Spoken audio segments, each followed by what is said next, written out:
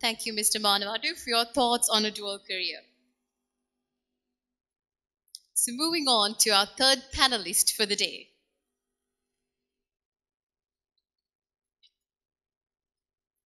Dr. Narein Perera, Senior Lecturer, Faculty of Architecture and Chairman Sports Advisory Board at University of Moratuwa.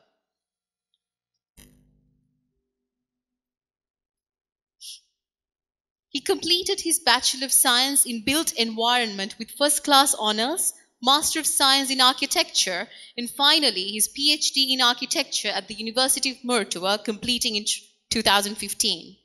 As a sportsman, Dr. Perera has won at many sporting disciplines right throughout his career in school, university, national, and international platforms. He was awarded the Professor H. J. Billy Moria Award for the graduate obtaining the highest total marks at the BSc BE final examination. In his practice as an architect, he has won many international awards for his architectural designs.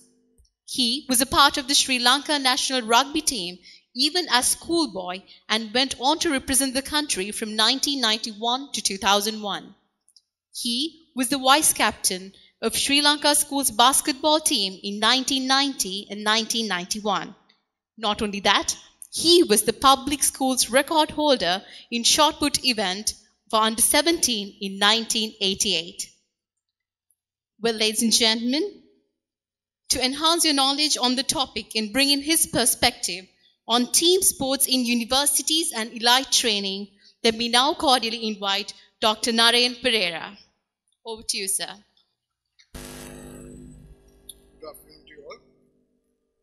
Distinguished guests, ladies and gentlemen, and most importantly, the sportsmen and sportsmen of the Sri Lankan universities. It gives me immense pleasure to present a few thoughts on team sports in universities and elite level training at this important event. Actually, I, I think uh, I'm in a bit of a trouble. I think this uh, topic that Mr. Ratnamudali has given me has been discussed uh, uh, right throughout the day, and uh, I might have to repeat some thoughts that my fellow panelists and uh, distinguished guests have uh, spoken earlier. Um, so, first of all, why team sports?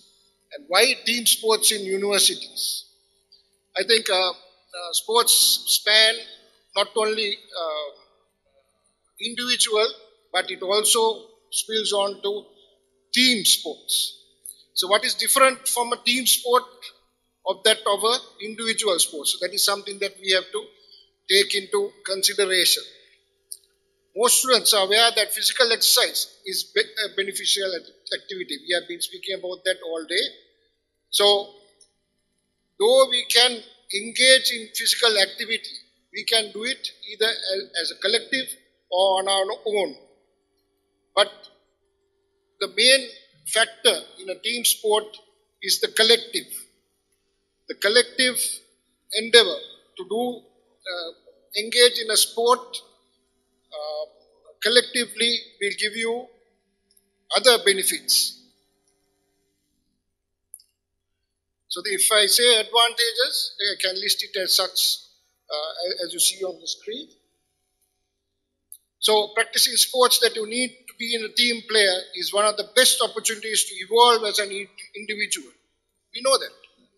Besides teamwork skills, team sports help you improve your health, confidence, self-esteem, willpower, and gain better life perspectives that will allow you to easily overcome future life challenges. To me, this is almost compulsory in the rat race our children run. Unfortunately, these days, it is uh, almost a linear process where uh, you're, you're, put into fixed lanes and you, need, you are supposed to keep on going in that. This is a vicious cycle. We need to break that. We need to give our children opportunities and this sports and team sports are very important in that so that they can diversify, they can connect, they can inculcate uh, relationships for better quality of life. in terms of, uh, if I ask a question, do we need elite level teams in universities? Right, so we have a, a certain degree, I think uh, Mr. Ratnamudali also broke it down, uh, the chairman of SLUSA also uh, broke it down, where the sports are engaged at different levels. In collegiate sports all over the world, the most rigorous of all undergraduate athletics are the most competitive and the organ- unorganized. Right? So in all over the world. So the World University Games is a shining example, where the level of competition and quality of athlete is tremendous. In this context, shouldn't Sri Lankan universities develop their sports to compete on equal grounds with other universities in the world? We have seen this many times over. The answer is yes. We cannot say uh, the recreational is enough. We cannot say the inter-university, inter-club, inter-national uh, level is enough. We have to pitch ourselves to the next level. So this is a problem that we face uh, going forward. Uh, say, if we say, how do we create these elite level teams? Unlike individual, uh, the teams we know are more complex. It, it was more uh, components, more participation, better management. Collegiate programs in other countries, say for example the United States, are funded by college or university. They are sanctioned by national bodies and Division 1 teams are the most skilled athletes. Tournaments are broadcast on uh, sports channels, so there are TV rights, etc. The best athletes often go into professional sports. Some students earn scholarships, grants for their performance too. But most importantly, these programs are run independently and they are essentially funded, self managed, self funded, etc. Can we do that? Or how do we do that? If you have to do it, we have to, uh, it, it, has been spoken at length. I think uh, Mr. Kalanga Mudali also uh, mentioned that, that almost if it is, if we are going to take our athletes and our teams to the next level, the university mechanisms need to be re-looked at.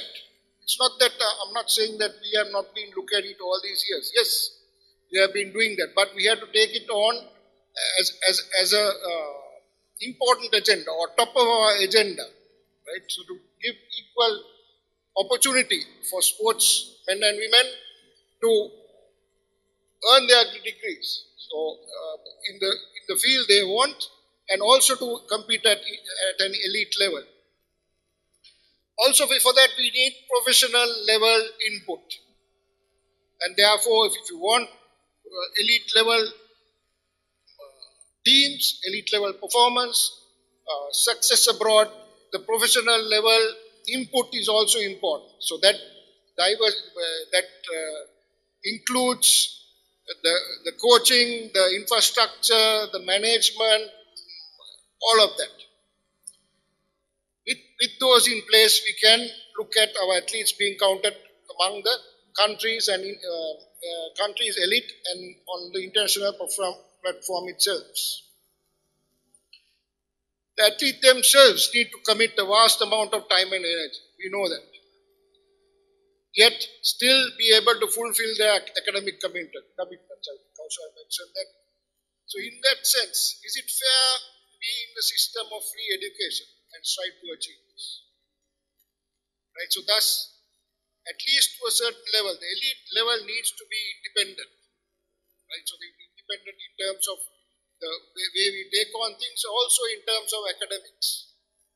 So if they need to be professional, self-managed, as I mentioned, self-funded, either under the individual universities or the SLUSA banner. So uh, we saw that SLUSA is taking on these aspects or training teams that can compete at national level under uh, combined universities, etc. Uh, we have looked at, look at this some more. Like can we have uh, now the catch phrase uh, in the recent times is uh, PPP, private public partnerships. You know, so we can we can go ahead uh, that in our functions that generate the best, but still uh, keep uh, feasibility uh, intact. Having said that, uh, what about the others, team sports in universities? I started the presentation outlining the advantages of team sports in general, and for university students in particular. And uh, we saw that there are programs, uh, common programs are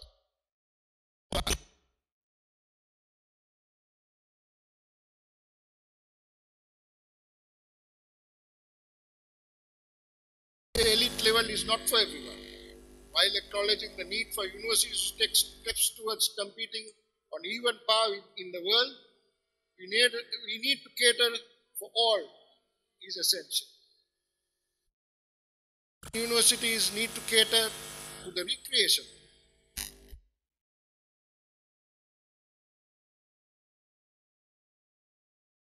So in, the, in, in that context, mechanisms to achieve these will be tedious and will depend on the talent of the universities attract.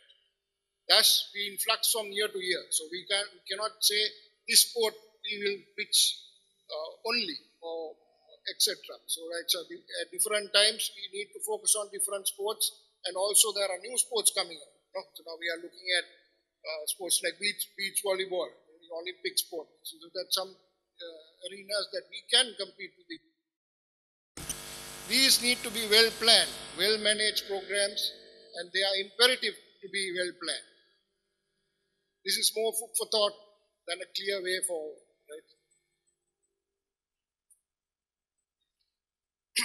Having said this, I, I, I would like to uh, conclude my uh, thoughts by uh, citing a few personal anecdotes.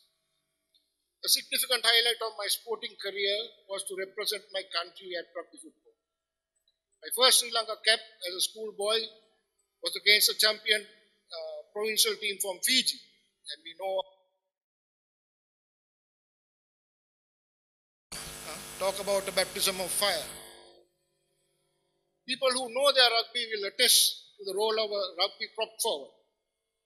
As the jersey number one dictates, you are the enforcer in the team.